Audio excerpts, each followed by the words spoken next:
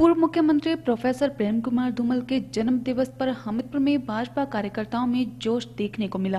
Covid protocol के चलते इस बार जन्म दिवस पर बड़े आयोजन की मनाही के चलते पूर्व मुख्यमंत्री के निवास स्थान पर कोई कार्यक्रम आयोजित नहीं किया गया, लेकिन हर साल लगने वाला रक्तदान शिविर गांधी चौक पर लगाया गया। भाजयुमो एम के भारद्वाज संस्था के संयुक्त तत्वावधान में रक्तदान शिविर का आयोजन किया गया। रक्तदान शिविर में युवाओं ने बढ़ चढ़कर भाग लिया। इस मौके पर जिला भाजपा के अध्यक्ष बलदेव शर्मा, जिला मीडिया प्रभारी अंकुश शर्मा भाजयुमो जिला अध्यक्ष अजय रिंटू सहित जिला भर से आए कार्यकर्ता मौजूद रहे। जिला अध्यक्ष बलदेव शर्मा ने पूर्व मुख्यमंत्री के स्वास्थ्य व लंबी आयु की कामना करते हुए रक्तदान करने वाले युवाओं का आभार भी व्यक्त किया। शर्मा ने कहा कि रक्तदान महादान है और रक्तदान की ज़रूरत आए दिन लोगों को अस्पतालों में पड़ती रहती है, जिसमें युवाओं के द्वारा किए गए रक्तदान से उन्हें मदद मिलेगी। उन्होंने कहा कि पूर्व मुख्यमंत्री ने देश व प्रदेश की सेवा में बहुमूल्य योगदान दिया है और उनके द्वारा करवाए गए सड़कों के विकास के चलते उन्हें सड़कों वाले मुख्यमंत्री के रूप में आज भी याद किया जाता है। वरिष्ठ नेता, पूर्व में मुख्यमंत्री आदरणीय प्रेम कुमार धूमल जी का आज जन्मदिन है, पूरे हिमाचल में, पूरे गर्म जोशी से मनाया जा रहा है। उसी कड़ी में हमीरपुर गांधी चौक में भी हमारे जो एम के भारद्वाज, इनकी संस्था और हमारे युवा मोर्चा के साथी सब जुड़कर ये धूमल जी के जन्मदिन के उपलक्ष्य में रक्तदान कर रहे हैं। ये बहुत पुण्य का काम कर रहे हैं। धूमल जी ने जहाँ हिमाचल की 10 साल मुख्यमंत्री रहते हुए बहुत सेवा की है। और उन्होंने अपनी पहचान बनाई है। चाहे उनको सड़कों वाला मुख्यमंत्री किया जाए, कहे जाए, किसान का मसीहा कहा जाए, चाहे बिजली वाला मुख्यमंत्री कहा जाए, हर वर्ग के लिए मादनीय प्रेम कुमार धूम जी ने हिमाचल के लिए कुछ न कुछ हर वर्ग के लिए किया है। इसलिए उनके जन्मदिन पर जो आज ये रक्तदान किया है, मैं एक संस्था को, इन बच्चों को जिन्होंने अपना खून दान दिया है, मैं इनका बहुत बहुत दोनों हाथ जोड़कर धन्यवाद करता हूँ। कि ऐसा पुण्य काम इन्होंने किया है कि इनका एक ब्लड डोनेशन जो खून दे के किसी की जान बच सकती है। कई एक्सीडेंट केस में होते हैं उनमें ब्लड चाहिए होता है कोई डिलीवरी केस है कोई किसी का बड़ा ऑपरेशन होना है वहाँ खून चाहिए तो ये खून किसी की जान बचाने में काम आएगा। इसलिए एम के भारद्वाज इनकी टीम को और युवा मोर्चा के सब साथियों को मैं दोनों हाथ जोड़कर धन्यवाद करता हूँ और धूमल जी को बहुत जन्मदिन की बहुत बहुत बधाई दे, देता हूँ और भगवान से प्रार्थना करता हूँ कि इनका स्वास्थ्य ठीक रहे। धीरे आयु हो आयु हो। और आने वाले समय में हिमाचल की इसी तरह आदरणीय प्रेम धूम जी सेवा करते रहें। धन्यवाद।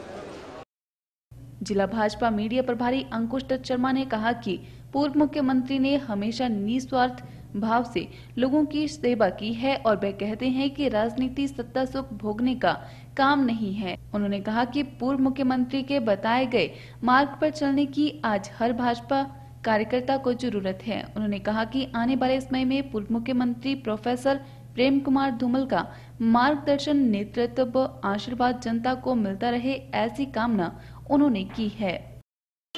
आज हमारे परम आदरणीय श्रद्धेय हिमाचल के जननायक प्रोफेसर प्रेम कुमार धूमल जी का सत्तरवा जन्मदिन है।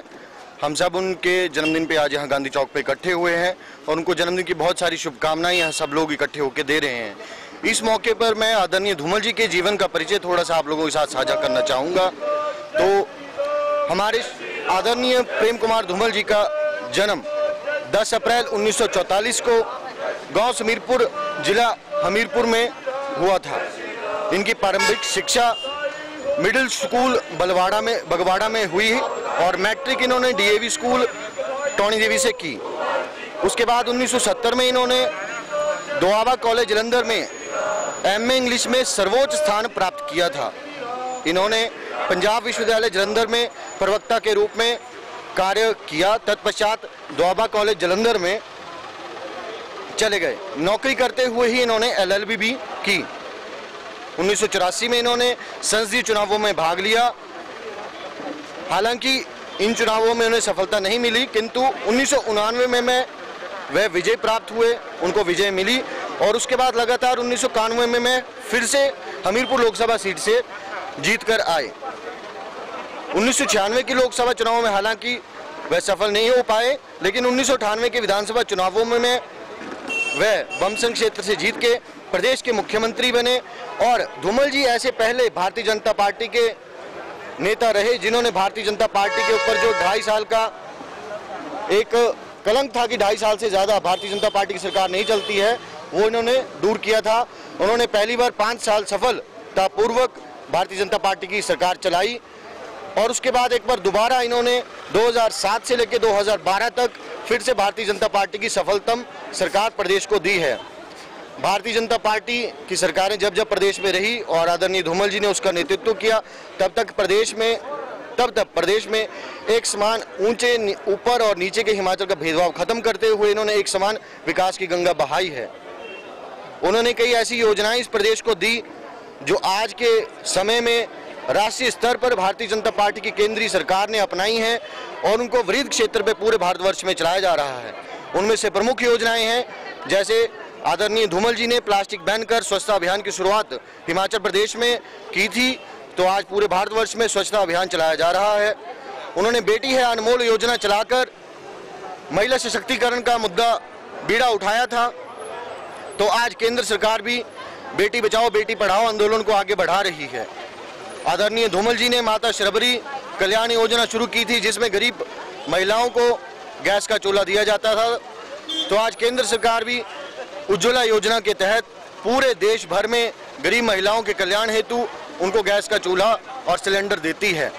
यही नहीं, धूमल जी ने सड़क शिक्षा स्वास्थ्य को अपना सरकारों में प्राथमिकता देते हुए इन्हीं तीन बिंदुओं पर आधारित रहते हुए राजनीति की, सड़क शिक्षा और स्वास्थ्य क्षेत्रों में इन्होंने अभूतपूर्व सुधार और विकास हिमाचल प्रदेश में किया है। शिक्षा के क्षेत्र में जहाँ उन्होंने प्राथमिक विद्यालयों में तीन भवन पक्के निर्माण करने की योजना चलाई तो बाद में केंद्र स्तर पर वो योजना अपनाई गई। सड़कों वाला मुख्यमंत्री के रूप में इनको प्रदेश की जनता जानती है, क्योंकि उन्होंने प्रदेश के हर कोने, हर गाँव, हर क्षेत्र को सड़क मार्ग से जोड़ा था। शिक्षा के क्षेत्र में भी जो उन्होंने अभूतपूर्व अपना योगदान इस प्रदेश के युवाओं को दिया है, वो भी कहीं भूल जाने वाला नहीं है। इससे पहले हमारे प्रदेश के हमारे भाई बहन उच्च शिक्षा ग्रहण करने हेतु प्रदेश प्रदेश में जो उपलब्ध नहीं थी, उनको अन्य राज्यों में जाना पड़ता था। देश के अन्य राज्य प्रदेशों में के में जाके वे उच्च शिक्षा ग्रहण करते थे। तो धूमल जी ने उच्च शिक्षा ग्रहण करने के लिए प्रदेश में ही कई उच्च शिक्षा, उच्च शिक्षण संस्थान खोले, जिससे आज हमारे भाई बहन हमारे आने वाली, आगे की पीढ़ी, हमारे युवा प्रदेश में ही उच्च शिक्षा ग्रहण कर पा रहे हैं। अभी जो हमारे आदरणीय नेता है, उनकी राजनीतिक यात्रा लगातार चली हुई है। धूमल जी को प्रदेश की जनता में इस तरह भी जाना जाता है कि वे प्रदेश के हर कोने हर कोने, हर क्षेत्र, हर गाँव के व्यक्ति को व्यक्तिगत रूप से जानते हैं, उसका नाम जानते हैं, उसे भली भांति परिचित हैं। और यही जो उनका एक सरल स्वभाव है, यही उनका जननायक बनने का कारण है, लोकप्रिय होने का कारण है। प्रदेश के जन जन तक उनकी आवाज़ है, पहचान है, उनकी बातचीत है। लगातार सक्रिय रहते हुए राजनीति, अपनी यात्रा आगे बढ़ा रहे हैं। उन्होंने फिर से कहा है कि वे राजनीतिक रूप से भी बिल्कुल सक्रिय हैं। आने वाला चुनाव लड़ेंगे। हम सब ये प्रदेश की जनता उनके साथ खड़ी है। जो जो आदेश और निर्देश धूमल जी हमें देंगे जन कल्याण की भाव से सेवा भाव से हाँ, क्योंकि धूमल जी कहते हैं राजनीति भारतीय जनता पार्टी के कार्यकर्ता के लिए सत्ता भोगने का साधन नहीं है बल्कि सेवा करने का साधन है समाज सेवा का साधन है। इसी सूत्र को हम अपना लक्ष्य बना के आगे बढ़ेंगे सभी कार्यकर्ता। और आने वाले समय में धूमल जी का मार्गदर्शन, धूमल जी का नेतृत्व और धूमल जी का आशीर्वाद हम सब पे बना बना रहे। परमपिता परमात्मा से ही प्रार्थना कि उन्हें लंबी आयु, उचित स्वास्थ्य और उनका आशीर्वाद हमें आगे प्रदान करते रहें और इस प्रदेश को उनका मार्गदर्शन मिले, उनका नेतृत्व मिले। धन्यवाद। धूमल जी कहते हैं, राजनीति भारतीय जनता पार्टी के कार्यकर्ता के लिए सत्ता भोगने का साधन नहीं है, बल्कि सेवा करने का साधन है, समाज सेवा का साधन है। इसी सूत्र को हम अपना लक्ष्य बना के आगे बढ़ेंगे सभी कार्यकर्ता। और आने वाले समय में धूमल जी का मार्गदर्शन, धूमल जी का नेतृत्व और धूमल जी का आशीर्वाद हम सब पे बना बना रहे। परमपिता परमात्मा से ही प्रार्थना की उन्हें लंबी आयु, उचित स्वास्थ्य और उनका आशीर्वाद हमें आगे प्रदान करते रहें और इस प्रदेश को उनका मार्गदर्शन मिले, उनका नेतृत्व मिले। धन्यवाद।